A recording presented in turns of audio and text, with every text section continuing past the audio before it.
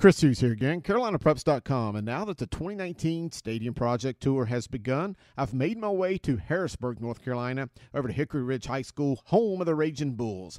As you can tell by these photos, the stadium here, the athletic facilities, everything is in tip top shape. Uh, the turf looks immaculate. Uh, and you really got to tip your cap to the athletic director, Coach Phil Furr, for the work that he does in maintaining the grounds. It looks terrific, Coach.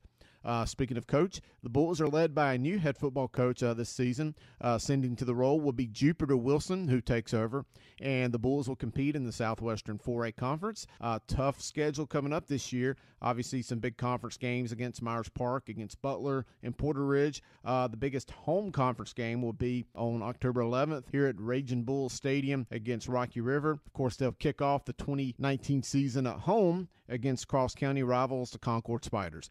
Again, thanks for checking out the CarolinaPreps.com stadium tour. Uh, you'll see us out and about across North Carolina throughout the summer and hope to see you around.